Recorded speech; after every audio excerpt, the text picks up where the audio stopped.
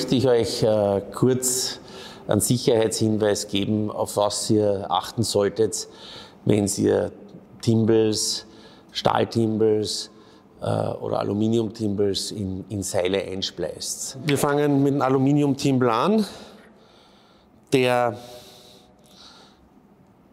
ja an sich ganz einfach eingespleist werden kann. Was ich hierbei nur beachten sollte, ist, dass ich den Spleiß nicht zu eng an das Ende setze.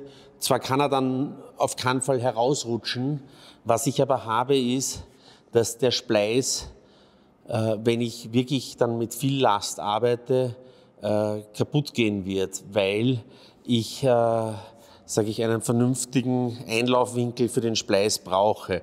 Er wird trotzdem nicht herausgehen, der Timbel. Wichtiger hingegen ist aber schon bei den Edelstahltimbels äh, darauf zu achten, dass ich die richtigen verwende. Die Edelstahltimbels geben mir zwar an sich durch ihre Bauweise schon den Winkel vor, wie das Seil gelegt werden muss und wie viel Seil ich brauche dafür. Aber dabei geht es darum, dass ich äh, verschiedene Timbels kaufen kann und nicht alle aber wirklich für, für äh, modernes Tauwerk geeignet sind.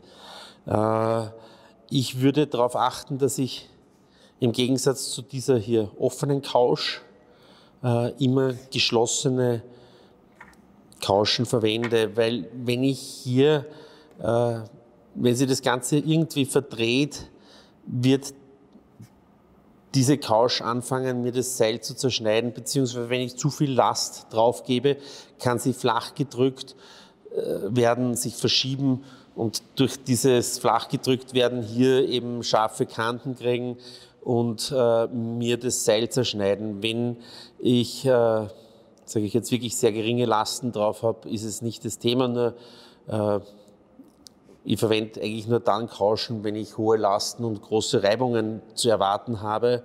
Und dann möchte ich auch wirklich äh, die optimale Sicherheit gewährleisten. Also aus diesem Grund ist diese Couch für modernes Tauwerk meiner Ansicht nach äh, ungeeignet. Hingegen diese hier kann sich, sage ich jetzt mal, so gut wie unmöglich äh, flach drücken, beziehungsweise wird sie hier nicht zusammengeschoben. Was passieren kann, ist, wenn ich den Spleiß nicht optimal habe, dass die Couch herausfallen kann. Das kann ich aber mit einem Takling am unteren Ende des Couchstegs beheben, indem ich links und rechts ein Takling mache. Dann kann die Couch auch nicht mehr herausfallen.